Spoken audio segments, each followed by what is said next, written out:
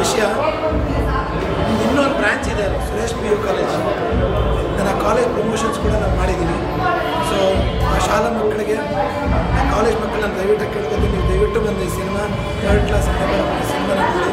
ಆ ಒಂದು ಆ ಕಾಲೇಜ್ಗೆ ಮುಂದಿನ ದಿನಗಳು ಯಾವುದೇ ಪ್ರೋಗ್ರಾಮ್ ಇರಲಿ ಯಾವುದೇ ಫಂಕ್ಷನ್ ಇದ್ದರೂ ಕೂಡ ನಾವು ಅಲ್ಲಿ ಬರೋಕ್ಕೆ ಇಷ್ಟಪಡ್ತೀವಿ. ಅದು ನಮ್ಮ ಶ ಕಾಲೇಜ್ ಅಂತ ನಮಗೆ ಫೀಲ್ ಇದೆ. ಸೊ ಹಾಗೆ ನೀವು ನಾವೆಲ್ಲ ಜೊತೆಲಿ ಒಟ್ಟು ಕೂತ್ಕೊಂಡು ಈ ಸಿನಿಮಾ ನೋಡೋಣ. ನೀವು ಕೂಡ ಎಂಜಾಯ್ ಮಾಡ್ತೀರಾ.